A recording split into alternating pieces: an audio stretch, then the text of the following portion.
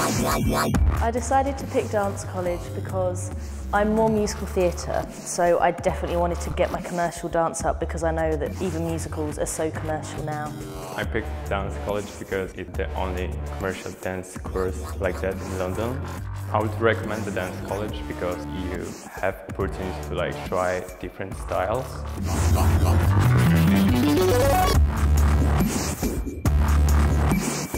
I picked dance college because I was searching for a college which don't take too long, so just one or two years, and dance college only take one year, so it's perfect. So my name's Leroy FX and I teach contemporary and commercial at the dance college. I'm very passionate about dance because it gives me the opportunity to express myself. My name is Tamara and I teach the technical jazz here at Dance College. I teach because I'm passionate. I love performers to use their face, be very expressive.